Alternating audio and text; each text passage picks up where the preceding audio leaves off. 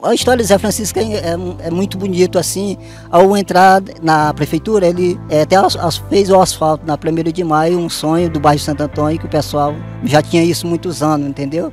E ao ele chegar, ele fez e também agora está fazendo essa nossa estrada do Barracão ao povoado rumo Mata Virgem, que vai dar acesso ao quebra-coco à Lagoinha, né? Um sonho de muitos anos, sonho realizado. Está muito perto, já está aqui na Lagoa do Costa, a gente só tem que agradecer a Deus e o nosso companheiro aí, Zé Francisco, né, por esse empenho, né, junto com os agricultores, fazendo esse projeto andar. São 72 quilômetros de estrada que estão sendo construídos aqui do Barracão até a Sentada e daqui vamos ligar o Barracão até a região de Cajazeiras. A satisfação é, é muito grande a gente receber, receber essa estrada no momento do, do que está acontecendo hoje. Se for do jeito que está acontecendo, nós vamos ter estrada boa. Pois é, eu agradeço o doutor Zé Francisco por essa grande obra que ele está fazendo. Hoje mais um dia de grande trabalho pelo município de Codó, pela população de Codó. É uma grata satisfação estar aqui ao lado do prefeito Dr. Zé Francisco, meu amigo Mauro Sérgio. Para mim é uma felicidade muito grande fazer parte desse governo, um governo que trabalha para o povo.